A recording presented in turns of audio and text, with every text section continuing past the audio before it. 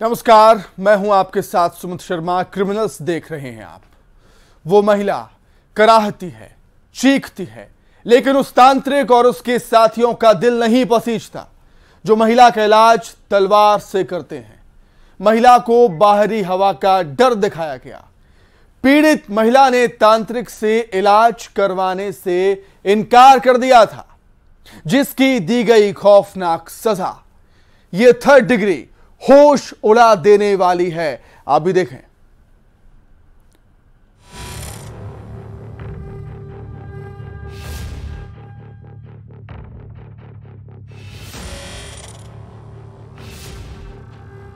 मैं तेरा इलाज कर दूँगा करके। उसने मना कर दिया कि नहीं, मुझे ये इस तरीके का नहीं कराना। मैं डॉक्टर के पास जाऊँगी। पकड़ के उसके मारपीट करी और उसको तलवार से रेशे लगाए, शरीर।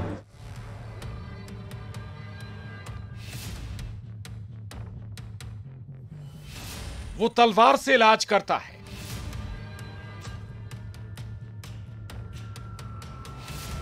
ना सुनने पर भड़क जाता है।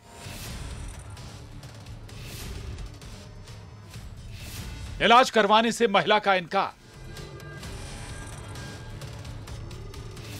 तांत्रिक ने दी ऐसी खौफनाक सजा।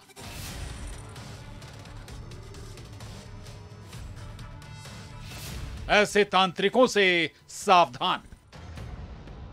21वीं सदी के इस युग में आज भी ढोंगी तांत्रिक, पाखंडी बाबा, अपनी दुकान चलाने के लिए लोगों के जहन में वहम डाल देते हैं। और जो लोग अंधविश्वास की पट्टी आँखों पर बांधे रहते हैं, वो तो ढोंगी पाखंडियों के हुक्म के गुलाम बन जाते हैं। धार से आई ये तस्वीर ऐसे तांत्रिकों के जाल में फंसे लोगों को सावधान कर रही है। इस महिला के साथ जो हैवानियत हुई, वो थर्रा कर रख देती है। जिस्म पर वहशीपन के निशान हैं, जिस पर तलवार से ऐसे कई निशान बनाए गए हैं जिसे ये खौफनाक सजा देने वाला कोई और नहीं, बल्कि तांत्रिक और उसके साथियों की टोली है, जिसने महिला के साथ ये बर्बरता की। धार के बड़वानिया में यह वहशीपन हुआ है। महिला को तलवार से कई कट लगाए गए हैं। जिससे महिला बुरी तरह जख्मी हुई। महिला फरियादी द्वारा शिकायत की गई कि उसके सिर और हाथ पैर में दर्द था। वो बलवानिया की रहने वाली है। तो उसने पास में रहने वाले अपने एक बड़वा था। उसके पास गई वो दिखाने के मेरे सिर हाथ में दर्द हो रहा है। उसने बोला कि तेरे हवा का चक्कर है। इस केस में कहानी क्या है ये सुनिए जरा। दरअसल महिला के हाथ पैर में दर्द हुआ जो पास में रहने वाले ओझा के पास गई। लेकिन तांत्रिक ने उसे बताया कि उसे बाहरी हवा लगी है। इलाज ज़रूरी है। यहाँ महिला तांत्रिक के झांसे में नहीं आई। उसने इलाज से साफ़ इनकार कर दिया। यानी पाखंडी की चाल काम नहीं आई। महिला ने कहा, वो डॉक्टर से इलाज करवाएगी।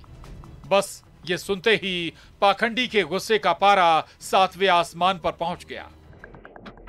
महिला के मना करने पर भी उसका इलाज किया और इलाज के नाम पर उसे ऐसे जख्म दिए तलवार से ऐसे कट लगाए। मैं तेरा इलाज कर दूँगा करके उसने मना कर दिया कि नहीं मुझे ये इस तरीके का नहीं कराना मैं डॉक्टर के पास जाऊँगी। तब उन लोगों ने जितेंद्र और अनिल करके दो आरोपी हैं उनके साथ एक और व्यक्ति है इन तीन लोगों ने उसको पकड़ के उसके बाद मारपीट करी और उसको तलवार से रेशे लगाए शरीर इसमें पीठ में है पैर में है। मामला थाने पहुँचा जहाँ आरोपियों के खिलाफ केस दर्ज हुआ है। सोचिए जरा। ये पाखंडी कैसे होते हैं? जिनके जाल में कोई फंस जाए तो भी उनका बुरा हाल। जो इनकी चाल में ना आए तो उसे ऐसी सजा देते हैं। तो जरा होशियार रहिए। तंत्र मंत्र की बिसात का मोहरा मत बनिए। सवाल तो यह भी है कि आखिर कब खत्म होगा अंधविश्वास का ये अंधेरा? धार में नवीन मेहर के साथ bureau report, news 18 Madhya Pradesh, Chhattisgarh. अब जो लव स्टोरी हम आपको दिखाने जा रहे हैं, इसमें कई पैंच हैं। जिसमें प्रेमिका से प्रेमी ने शादी का वादा किया, लेकिन वादे से वो मुकर गया। मामला थाने पहुँचा। आरोपी को जेल की हवा खानी पड़ी, लेकिन जेल से बाहर आते ही फिर से लड़के और लड़की के बीच शादी की बात होती है। मंडप सजता है दुल्हन और उसके घर वाले दूल्हे का इंतज़ार कर रहे थे। लेकिन इस कहानी में दुल्हन मंडप में नहीं, बल्कि थाने पहुँची। वो भी इंसाफ मांगने।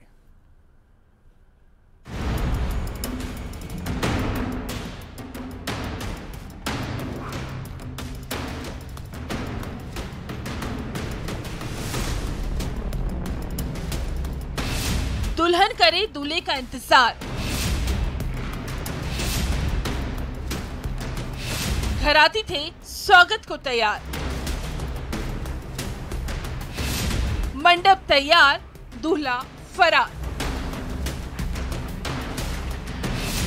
सात फेरे रह गए अधूरे। दूल्हा दगाबाज, दुल्हन मांगे इंसाफ। शादी की ये अजब कहानी है, जिसमें पहले प्यार था, फिर इल्ज़ाम लगा धोखे का, और फिर एतबार जगाया गया।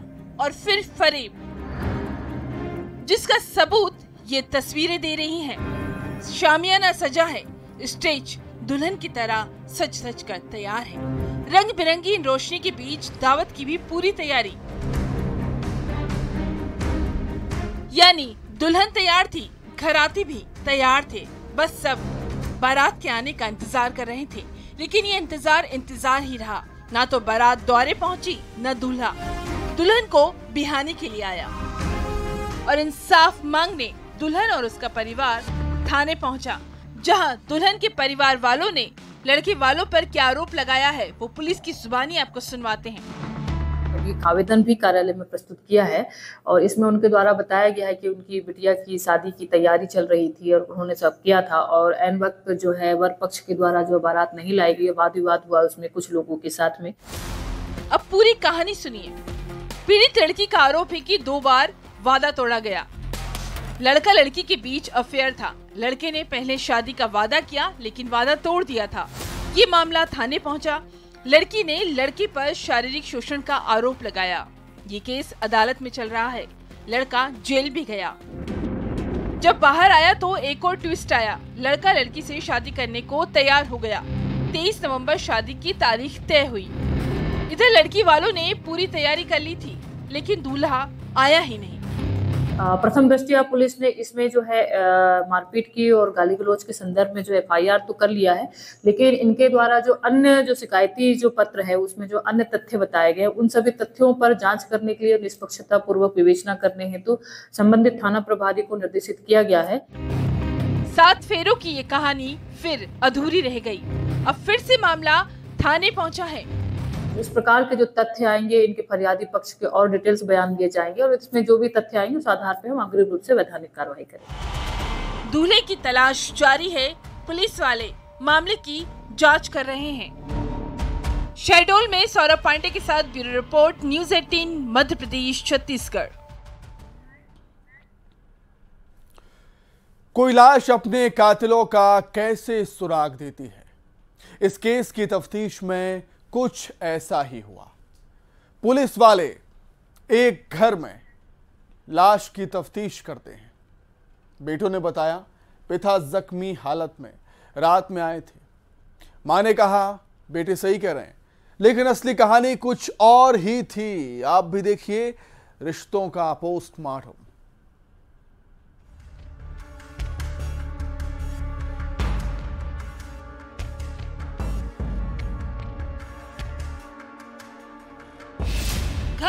पति की लाश।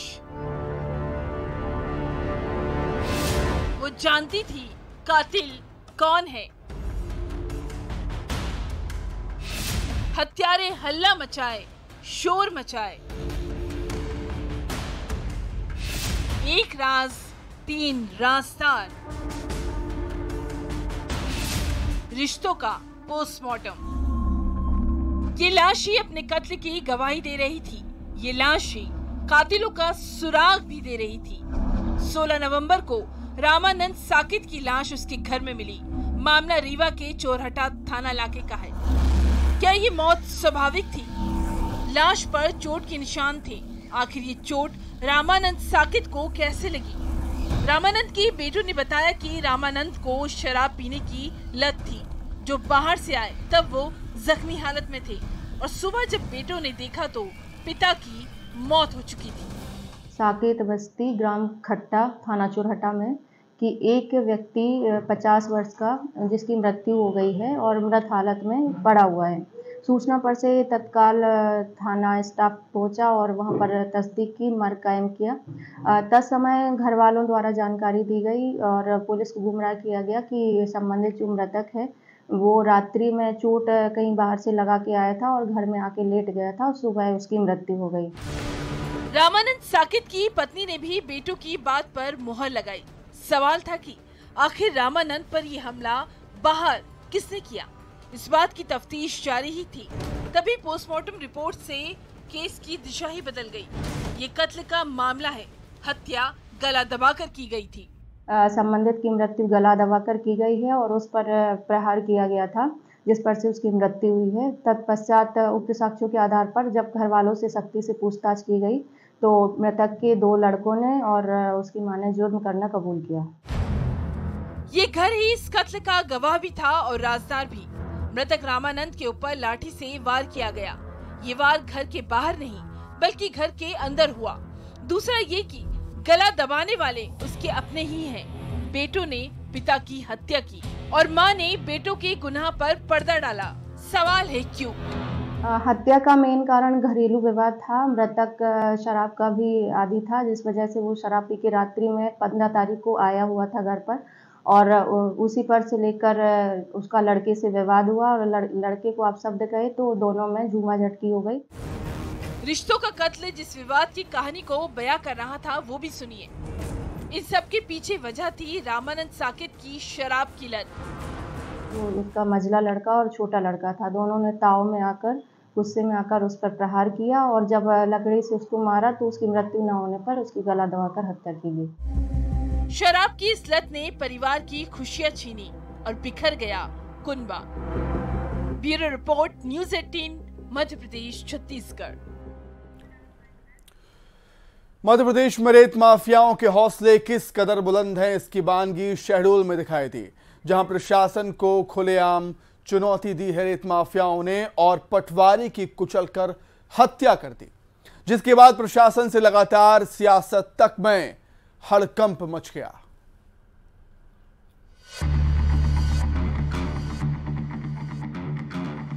मध्य प्रदेश में खनन माफिया के कारनामों का काला और रक्त रंजित इतिहास रहा है। दस साल पहले एक आईपीएस की हत्या माफिया द्वारा की जा चुकी है। साल 2012 में मुरैना ज़िले के बामौर कस्बे में अवैध खनन में शामिल खनिज माफिया ने नौजवान आईपीएस अधिकारी नरेंद्र कुमार सिंह को ट्रैक्टर ट्रॉली से कुचलकर मार डाला था और अब साल 2023 ठीक 11 साल बाद फिर एक बार खूनी खेल खेला है।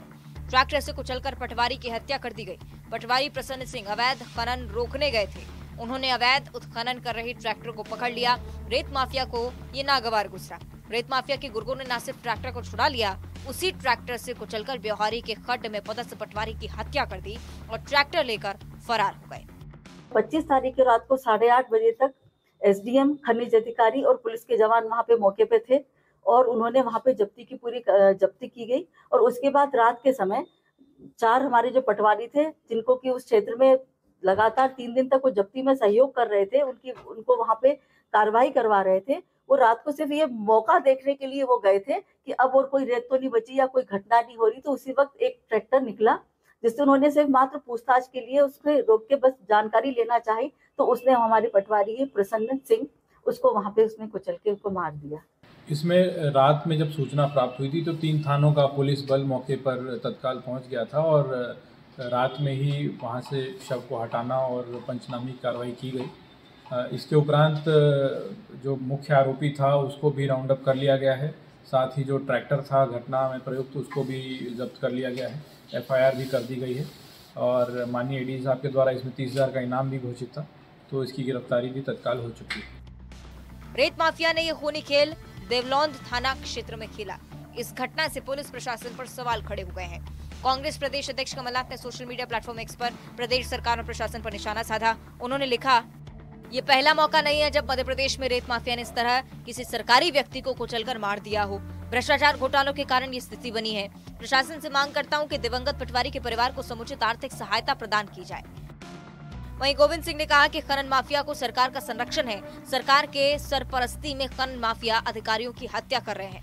वहीं बीजेपी नेता आशीष अग्रवाल ने कहा कि आचार संहिता के चलते रेत माफिया सिर उठा रहे हैं। आरोपी को गिरफ़्तार कर कानून ने अपना काम किया। तीन तारीख के बाद सरकार दोबारा आएगी और रेत माफिया को मिट्टी में मिला दिया जाएगा। तमाम अधिकारी, कर्मचारी की पिटाई हुई और उनकी मारपीट से माफियाओं के द्वारा हत्या भी की गई है। शिवराज सिंह से कहना, अनुरोध करता हूँ मुख्यमंत्री से कि पटवारी की हत्या करने वाले गैंग रेप करने वाले भारतीय जनता पार्टी के नेता बच्चियों के साथ छेड़खानी करें, इनके मकान क्यों नहीं टूटते? देखिए, अपराधी पर कल रात ही इनाम घोषित हो गया था। उसको पकड़ लिया गया है, ट्रैक्टर जब्त कर लिया गया है और इससे जुड़े हुए जो भी और लोग हैं, उनको नहीं छोड़ा जाएगा। ये जो आचार संहिता के चलते जो खनन माफिया थोड़ा बहुत सर उठा रहा है तीन तारीख के बाद जब सरकार जब आएगी तो उसको कुचल दिया जाएगा किसी को नहीं छोड़ा जाएगा। इस घटना से पुलिस प्रशासन पर सवाल खड़े हो गए हैं। क्या रेत माफिया इतने बेखौफ हो चुके हैं कि अब शासकीय कर्मचारियों की जान भी ली जा रही है? अवैध रेत खनन का खेल जारी है। पुलिस प्रशासन आखिर क्या कार्रवाई कर रहा है? रेत माफिया पर नकेल के लिए अब क्या एक्शन लिया जाएगा? Bureau report news eighteen. यहाँ पर रुकेंगे। बहुत छोटे से ब्रेक के लिए फ़ौरन लौट रहे हैं।